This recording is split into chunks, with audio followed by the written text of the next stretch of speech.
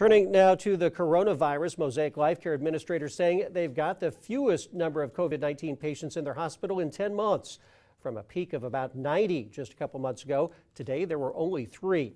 Doctors say there are three main reasons for the steep drop vaccine distribution, mask wearing, and the fact there's been a significant number of people who've had COVID but were asymptomatic.